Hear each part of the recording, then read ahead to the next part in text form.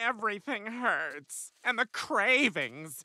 I want a cigarette and five shots of Patron. Roger, you can't smoke or drink during your pregnancy. Uh, okay, but can't I just cook the tiniest bit of meth? It won't hurt nobody. Here, have some pickles instead. Oh, God, the smell. Ah, get that away from me. But these are your favorites.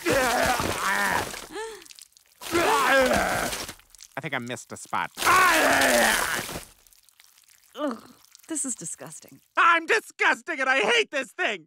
You! You did this to me!